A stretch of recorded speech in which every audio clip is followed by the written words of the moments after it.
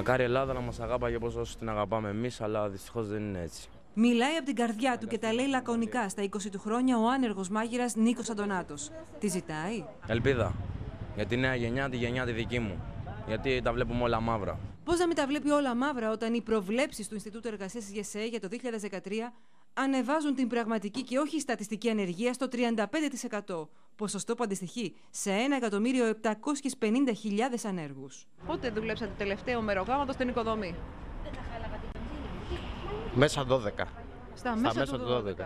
Με τρία παιδιά, ο Θανάσης Ανογιάτης προσπαθεί να κρατήσει ισορροπίες και να μην πάθει κατάθλιψη, καθώς δεν βρίσκει ούτε ένα μεροκάματο στην οικοδομή.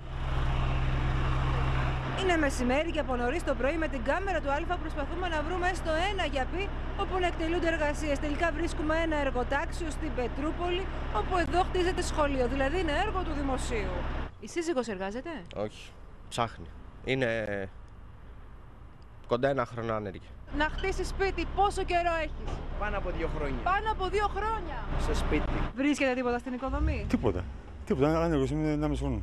Αμέσως μετά την πτώση του χρηματιστηρίου το 1999, για 10 ολόκληρα χρόνια, η οικοδομική δραστηριότητα μαζί με τον τουρισμό ήταν η μεγάλη μοχλή ανάπτυξης της ελληνικής οικονομίας. Αυτό όμως ανετράπη από την κρίση. Και σύμφωνα με τα στοιχεία της Ελληνικής Στατιστικής Αρχής, τον περασμένο Οκτώβριο η οικοδομική δραστηριότητα σημείωσε νέα μείωση κατά 43,1%. Ποιος έχει να δώσει, ας πούμε, 300.000 ευρώ να πάρει ένα διαμέρισμα 150 μέτρα; Ημιτελή κτίρια παντού, σπίτια, γραφεία, καταστήματα. Ακόμη και τα πρώτη ζήτηση ακίνητα με θέα και κομφόρ, που μέχρι και πριν από τέσσερα χρόνια ήταν ανάρπαστα.